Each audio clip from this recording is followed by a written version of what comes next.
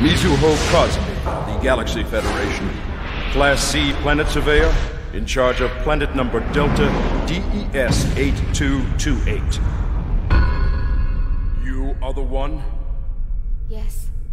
I have read the report from the investigators. These are the charges. Any objections to this report? Yes. I have only one objection. He's not just a life form from my assigned planet. He is Kei, and he is my husband. It is the obvious duty of an honorable wife to act in order to save her husband from any form of danger. That objection is denied. Now, the verdict.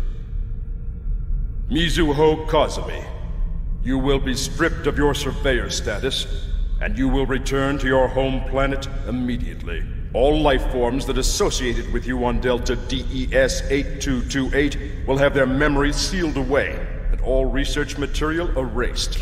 Furthermore, we will not undergo direct supervision of Delta DES 8228 for now, and use the unmanned surveillance system via parallel motion.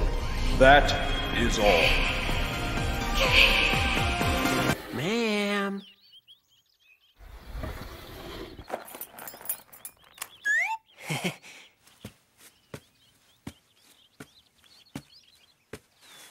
Wake up.